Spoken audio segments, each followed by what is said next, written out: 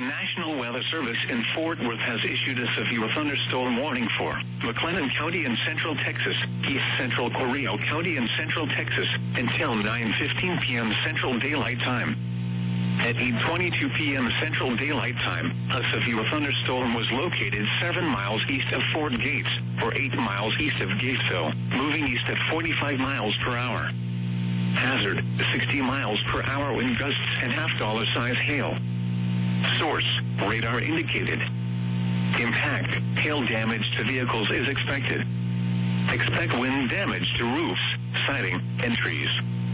Locations impacted include Waco, Gatesville, Hewitt, Robinson, Bellmead, Woodway, Lacy Lakeview, McGregor, West, Mart, Beverly Hills, Lorena, Bruceville Eddy, Moody, Riesel, Crawford, Golinda, Hallsburg, Mother Neff State Park, and Northcrest.